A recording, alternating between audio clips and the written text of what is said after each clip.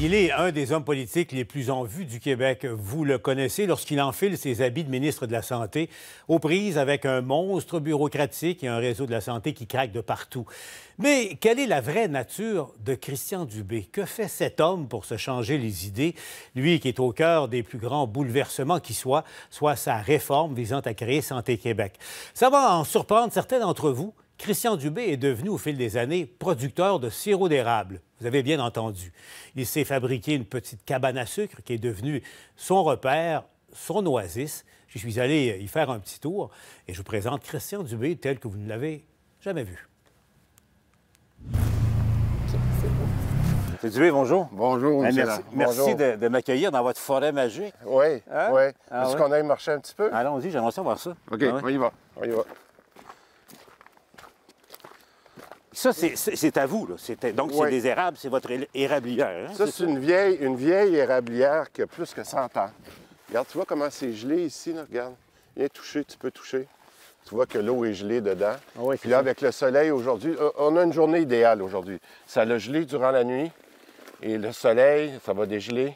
Et là, ça va commencer à couler. Ah? Puis tous les arbres sont connectés comme ça avec un chalumeau. Puis ça fait le tour, puis ça s'accumule jusqu'en bas. Je vois dans votre sourire, ça, ça vous rend heureux, ça. hein? Ça fait partie Ben, de votre euh, bonheur. c'est, y a- c'était deux semaines, deux, trois semaines par année. L'an dernier, ça a duré à peu près trois semaines. Puis c'est probablement mes plus belles semaines de l'année, ça. Puis parce que tu peux venir avec. euh, il n'y a pas juste les érables qui coulent, il y a mon nez qui coule. Ça, ça, ça fait partie de la vie au Québec. Ça fait, ça. ça fait partie de la vie.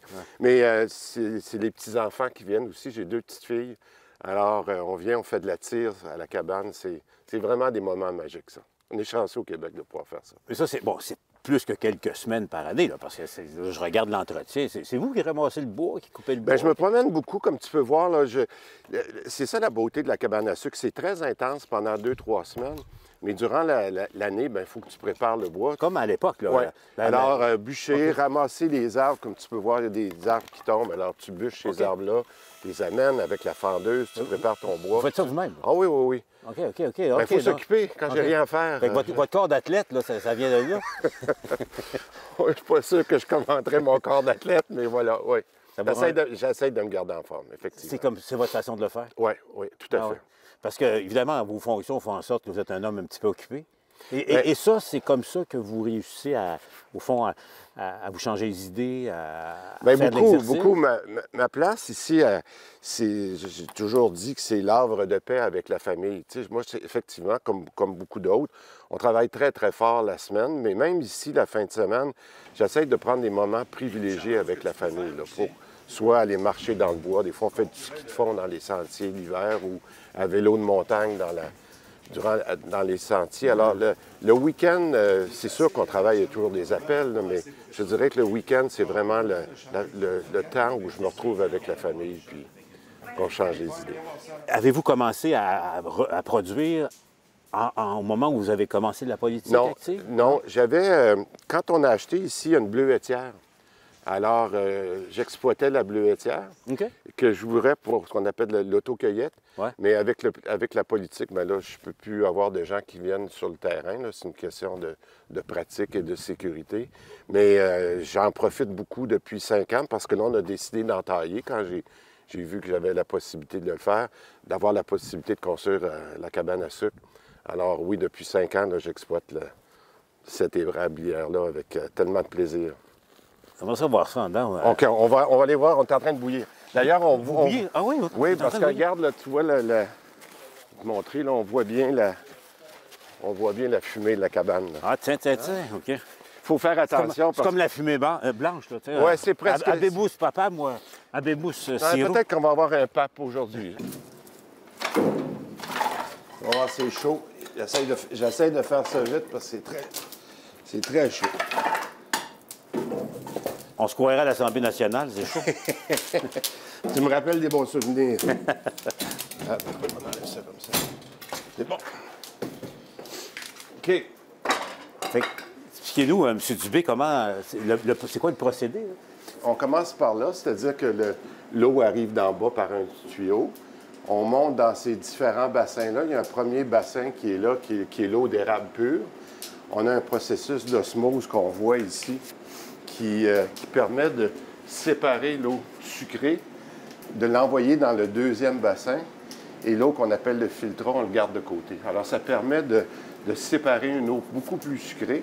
Puis une fois qu'on a fait ce processus-là, l'eau arrive par ici, au début de la bouilloire, qu'on voit ici, avec un niveau pour s'assurer qu'on a toujours le même équilibre dans la bouilloire. Uh-huh. Et là, l'eau passe à travers tous ces, Les serpentins. petits- ces serpentins-là. Uh-huh. Et elle devient de plus en plus sucrée parce que c'est l'eau non sucrée qui pousse l'eau sucrée. Alors, vois-tu, regarde, on vient ici, là, pas tout à fait. Vois-tu, là? Oh, là, ouais, c'est ça. Tu vois, là, comment C'est- pas de l'eau, c'est pas du sirop. Hein? C'est entre les deux. Là. Ouais, ouais. Attends. Là, on prend pas ça comme ça, attends une minute. Puis là, je vais aller chercher du petit remède. Puis ça, on a le choix ici. Moi, celui que je trouve meilleur, c'est celui qui vient. euh, pas, c'est pas de l'huile. ça. Mais il faut pas en mettre beaucoup parce qu'il faut travailler un peu. euh. Oui, c'est ça. Je, vous, je vous confirme, ça me rappelle des, des, euh, Ça rappelle des- des- des- des odeurs quand j'étais plus jeune. Ça, Ouais, bon, ouais. Ouais, santé. On y va. euh, santé. Faut faire attention, c'est chaud quand même. Ouais. Oh boy. Oh, oh, oh, Ah. oh. La, cu- Oh. la cuvée du B, c'est vraiment bon. Vous savez, c'est quoi le, le défi, ce qu'il y a de plus dur là-dedans? Ouais. C'est d'arrêter à un verre. Ben, c'est parce qu'il faut t'en prendre quelqu'un pour bouillir. Oui, c'est ça. Ça prend quelqu'un de responsable. Ça prend quelqu'un de responsable. Vous avez du fun ici, hein? Ben, j'ai beaucoup de plaisir. Puis, tu sais, regarde, viens, on va aller voir pendant qu'il fait un beau soleil. Regarde, est-ce qu'on peut juste regarder? Regarde comment c'est beau, là. Vois-tu, la, la- tu vois les érables, tu vois la neige, c'est- magnifique. Hein? Ça, ça change un peu du salon bleu. si vous oubliez le salon bleu, hein? Bien, en fait, euh, j'ai la chance de pouvoir, depuis qu'on s'est habitué à, à faire, à être en télétravail, euh, moi, je viens souvent ici le vendredi. Je vais te dire, ma, ma journée préférée pour être en télétravail, c'est que je pars de Québec le jeudi soir, ou le jeudi en fin de journée. Euh, des fois, tu vas passer par le comté le vendredi matin. Mais ce que j'aime beaucoup, à, le comté à la prairie, mais ce que j'aime beaucoup, c'est venir ici le vendredi après-midi. Puis là, tu finis ta semaine. Fait que je m'installe sur la table de salle à manger en équipe, en Teams avec euh, le cabinet. Puis là, on regarde la semaine, qu'est-ce qui s'est passé. Euh, Est-ce que Paul Larocque nous a donné de la misère? Comment c'est... La- la joute, pas- pas- pas- pas la joute, là, Ça n'a pas de bon sens ce qu'ils ont dit. Pas- pas Gaétan. Barrette Ah, encore, non, non, non. Ça n'a pas d'allure ce qu'ils ont dit. C'est vous le cuvez en Ça, ça va me mettre dans le trouble. là. Ah oui? ça va me mettre dans le trouble. Fred. Parce qu'on fait un conseil de famille euh, à tous les ans pour décider du nom de la cuvée du sirop d'érable. OK? En 2022. Première. Première dose. Ensuite, on a fait la deuxième dose. Ici, on est allé à Liberté. Ah, Ça te dit quelque chose, Liberté? Et l'an dernier, quand on a construit la cabane, ben, ma conjointe a dit T'as viré sur le top. Vous êtes à la tête d'un ministère qui est compliqué, vous gérez des affaires compliquées, puis là, vous venez ici, au fond, ça, ça vous détend. C'est ça que je comprends, là. hein? Ben, je pense que c'est un peu ça l'objectif, euh, d'être un peu reculé, de, de profiter de la famille, d'être capable d'avoir, de, de recevoir des amis. Monsieur Dubé, donc, d'ici, vous prenez des décisions, vous gérez un ministère qui est compliqué, là, qui est Ouais. en plein changement. là. Ouais. Vous, vous aimez ça, le changement? Vous aimez ça, gérer le changement? C'est dans votre nature Ouais. profonde, je me trompe? Oui, je pense que je, je- je me suis, euh, après un certain nombre d'années, décrit comme un agent de changement. Et euh, je pense que la- la- mon but ultime, c'est d'améliorer le, le réseau, hein, le réseau de la santé. Quand, quand j'ai pris ce mandat-là, je me suis dit, ça, c'est probablement l'occasion unique, le, le défi d'une carrière, de, de faire le changement nécessaire pour améliorer le réseau. Et, et là, vous, vous retournez le réseau, on le sait, là, vous le remodelez euh, complètement. Là, au moment où on se parle, on arrive aux échéances, là, parce que Ouais. Top Gun, là, ça s'en vient. C'est dans quelques semaines. dans quelques semaines. On a, on a reçu euh, beaucoup de candidatures pour le conseil d'administration. Ça, ça m'encourage parce qu'il y a beaucoup de gens de qualité qui veulent Uh-huh. Ouais, déjà, participer au conseil.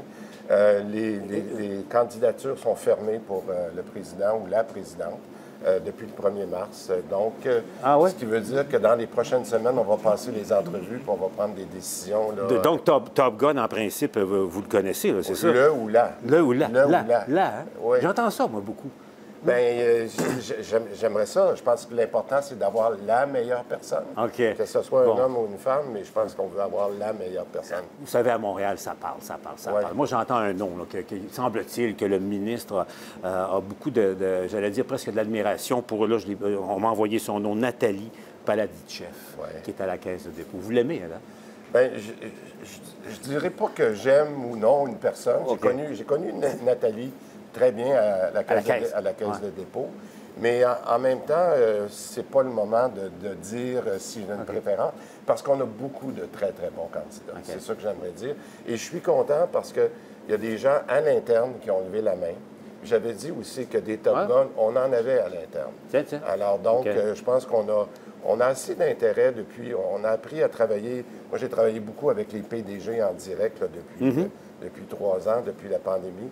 Et euh, on a développé une certaine complicité avec quelques gestionnaires, euh, dont quelques-uns ont levé la main. Ça, je trouve ça intéressant. OK. Donc, euh, Top Gun pourrait venir de, de l'interne, Pourrait venir de l'interne, parce que moi, j'ai dit, M. Larocque, que ce qui était important, c'était d'avoir une combinaison de gens d'interne et d'externe. Je vais avoir des idées qui viennent un peu de Numéro un pourrait être complété par numéro deux qui vient de l'externe. Ou vice-versa. Ou vice-versa. Peut-être quelqu'un de l'interne qui connaît bien le réseau, mais qui est complété par des gens qui arrivent avec des nouvelles idées. Vous vous décrivez comme un agent de changement. Vous aimez gérer le changement. Mais là, M. Dubé, quand, quand tout ça tombe en place au cours des prochaines semaines, donc l'agence va commencer à fonctionner avec ses, dirigeants, le gros changement va être fait. Ben, Voyez-vous à la santé euh, obligatoirement jusqu'à la fin du mandat, vous? Oui, j'aimerais ça. J'aimerais ça, puis c'est toujours la décision du premier ministre, parce que j'ai dit... S'il n'en tenait qu'à vous... Oui, j'aimerais ça rester. Finir le mandat à la santé. pour deux raisons. Euh, la première, parce qu'il nous reste... On, a fait beaucoup de gestes depuis deux, trois ans, mais là, je commence à intégrer les différentes actions qu'on a faites. On a travaillé dans les urgences, on a travaillé avec le pré-hospitalier cette semaine, on travaille avec le guichet d'accès. C'est tous des gestes individuels qu'on a posés. Puis là, il faut commencer à mettre tout ça ensemble. Ensuite, il reste des gros changements de fonds à faire. Il reste des négociations à faire, entre autres avec la FIC. Uh-huh. Il nous reste la négociation à faire avec les médecins, les deux fédérations de médecins. Alors, des... La job n'est pas finie. La job n'est pas finie. Bon, vous allez terminer votre mandat, ça c'est clair. Vous avez... Après, après, une fois que le mandat va être terminé, avez-vous pris votre décision? Serez-vous là la prochaine?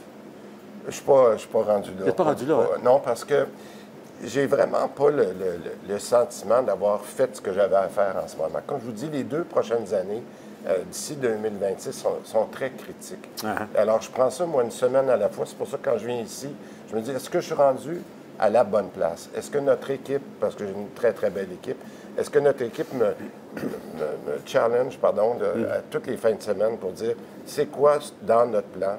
Alors, euh, deux ans, vous le savez, c'est long en politique. Deux ans, c'est J'ai tellement entendu celle-là. C'est vrai. C'est vrai. Alors, Donc, vous n'êtes pas, sûr encore? Non, moi, je suis... Mais ce que je suis content, c'est de voir les progrès qu'on a fait. Alors, je travaille mhm. sur la continuité d'améliorer tout ce réseau-là. Avant de se laisser, parce que vous êtes un homme très, très occupé... Euh, vous le voyez aujourd'hui. je le vois aujourd'hui. pas que je brûle Mais là, je vous crois, apparaît-il, vous avez des séances de travail cet après-midi? Oui, cet après-midi. parfait. J'ai des appels. On va appeler quelques Top Guns cet après-midi. Déjà? Oui. Ah oui? Pour leur dire quoi? Bien, pour leur demander si on peut commencer à avoir des entrevues dans les prochaines semaines. OK, OK, OK. OK. Il y a beaucoup de gens qui sont sceptiques par rapport à, l'agence, par rapport à, mm-hmm. votre réforme. En, 20 secondes, on a connu la réforme Mochon, euh, Marc-Yvan Côté, Gaëtan Barrette, bon, etc., etc. Pourquoi ils vous croiraient ce que là? Bien, ils croient parce que, un, on n'avait pas le choix de faire ce qu'on a fait là, puis on essaie une formule qui est différente. Juste de séparer le, ministère ah. du réseau, moi, l'encouragement qu'on a, on mesure nos succès. Vous avez vu, on a publié nos tableaux de bord. Puis je pense qu'on est quand. Moi, je suis capable de le voir. Mais aux gens qui sont, sceptiques, qui nous écoutent, qu'est-ce que vous leur dites? Bien, continuez de voir l'amélioration toutes les semaines. Moi, c'est ça mon défi. Un jour de, à la fois. de publier nos bons coups à toutes les semaines.